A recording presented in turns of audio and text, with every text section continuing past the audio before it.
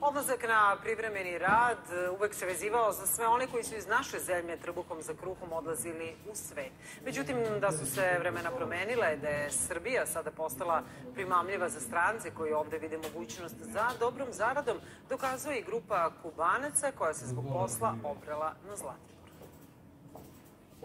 Angel Moreno iz kubanskog grada Vardero sunce i peščane plaže zamenio je zlatiborskim snežnim visovima. Iako advokat po obrazovanju radio je kao električar u svojoj zemlji, ali zarada nije bila dovoljna da izdržava porodicu, pa se otisnuo u beli svet i stigao čak do Rustije. Međutim, ni tamo nije bio srećne ruke, pa je priliku za boljom zaradom potražio na Zlatiboru.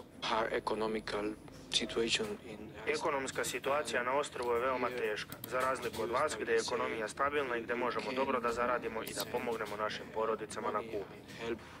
Na privremenom radu na Zlatiboru su i Anhelove zemljakinje Sandra i Gena, koje ovde rade kao sobarice. Na Kubi su ostavile svoje porodice i to je ono što im najviše nedostaje, ali teško se privikavaju na sneg i hladnoću. Međutim, prezadovoljne su kako ih na ovoj planini prihvataju i kažu da, za razliku od ruskog, naši kubanski mentalitet jesu veoma slični. Razdvojenost od porodice mi je najteže pala, ali to je žrtva koju moram da podnesem da bi moja deca i roditelji živeli pristojno. Sve ostalo ovde je u redu i posao nije težak. Zlatibor Na Zlatiboru su uslovi odlični. Ljudi su nas lepo prihvatili i poštuju naš rad. Jedino što mi teško pada je zima, ali i to će proći. Najvažnije je da mogu da zaradim i pomognem svojoj deci.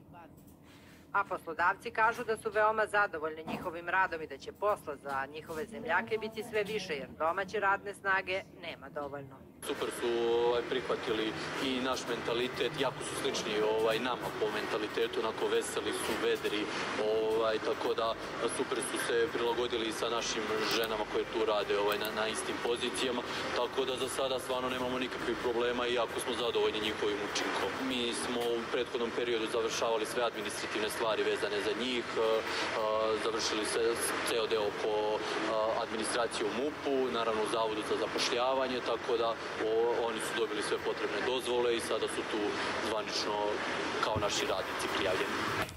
Kao i svi gastarbajteri, i ovi kubanski su naravno nostalgični. Večeri provode uglavnom u razgovoru sa porodicom ili uz ritmove kubanske muzike.